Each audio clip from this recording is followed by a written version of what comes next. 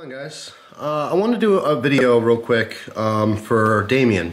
Uh, Damien had sent me this letter and he wanted a letter back, but I figured it'd be better even to just do a video talking about it in case someone out there has a similar, um, you know, question about this stuff. Basically, I'm going to read to you here. So, hey Jeff, uh, as you can see by the bad uh, tracing of my hands, I only have seven fingers. I was wondering if you could help me out. I'm having trouble finding a good left-handed knife. I like the Tanto style blade and the axis lock, but not a big fan of lockbacks.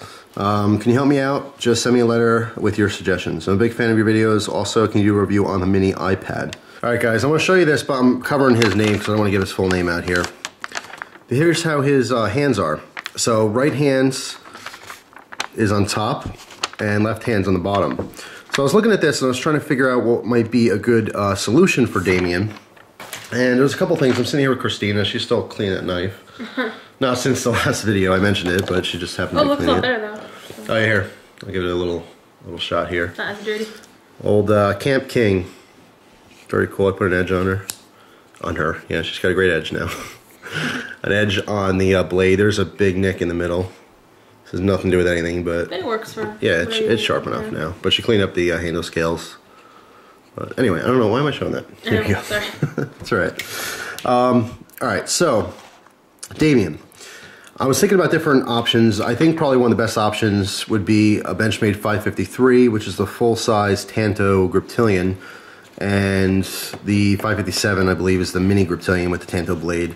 Uh, I think a Griptilian might suit you best because, I mean, you like the Tanto, so they do have that option. But any axis lock knife, I think, will do you good. Um, because you have four fingers on your left hand, uh, they'll probably be, you know, I, I would assume you're looking for a left-handed knife.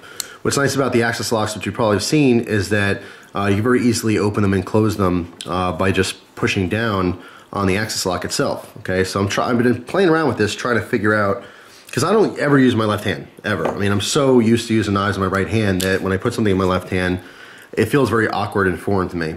But I was trying to open this. I mean, even just pretending uh, to only use two or three fingers on this hand to see how how I can do it. And with me, I mean, just trying this with um, three fingers using my thumb, my pointer finger, and my middle finger, I was able to you know rest it up against my palm to easily disengage that blade. Okay, and then of course in opening it, same thing, brace it with these two fingers and open it with my left hand. So I think an axis lock in general will probably do you really good. Um, maybe the 553 because it's full size, it's bigger, it will give you more of an option. Um, you know, in, in how you're positioning it in your hand. Because it's literally bigger, it might be easier to brace it and hold it and manipulate it. So you might want to look into that specific one. Uh, something else is I was playing around with the idea of suggesting a, a wave knife to you because obviously, you know, waving it out of the pocket, it's one hand operation. You only need, um, you know, basically only need two fingers to pull it out to wave it open. And then once it's open, I know you said you wanted to shy away from lockbacks, but something to keep in mind too is uh, most Spydercos, they have a large ricasso on the blade. There's this section right here so that you can depress the lockback with one hand and literally just drop the blade down and it's not going to cut you because of that large ricasso. It never, you know, the edge never hits your finger. And a lot of people will do this with Spydercos. It doesn't matter what hand you're using. They'll depress that lockback and just kind of kick it down like that. And your fingers stop the blade, but it never comes in contact with that edge. All right, so it might be an option for you. I know you don't like lockbacks, but you know, it's technique you may want to try with Spydercos. Obviously, there's other knives that will do this, but for the most part, Spydercos are going to be the best for this. You don't have to worry about that edge touching your finger, so you're not going to cut yourself. So you can depress that with the thumb, drop the blade down, and then, you know, maneuver it so that you could close it without cutting yourself. But it may be tricky. I mean, it's something worth thinking about. Um, something else that I wanted to mention is um, because of your handicap, you may be eligible to have an automatic knife.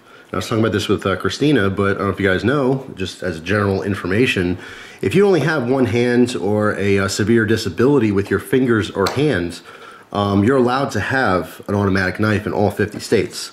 Now, I don't know the specific procedure you have to go through to maybe get a piece of paper saying that or not. Uh, it's worth, you know, contacting your your local, you know, not necessarily police department, maybe sheriff's office, something of that nature, or even talking to a lawyer about it. But uh, I know people who only have one hand, you know, or like I said, severe disabilities in a hand. Um, that's when you're allowed to legally have automatic knives. Now, this, of course, anything with butterfly knives or balisongs, uh, you have regular laws, but laws don't apply to uh, people with different handicaps. All right, so it's definitely worth looking into. Um, I would definitely recommend that to you as well. Is seeing if you could talk to um, you know someone at your local sheriff's office, or if you maybe you're you know by chance your family knows a lawyer or something, you can talk to them about it. But uh, legally speaking, I think if you do have a disability with your hands, you can legally carry. Um, in all 50 states, a uh, automatic knife. So that may be an option for you. With an automatic knife, obviously, you know, you'd be pushing a button to open your blade. It would completely open up and then you'd have to probably in most cases depending on the knife design you'd depress that button and you can even use the side of your body uh, to close that blade in that in that respect. You don't even need two hands to do that.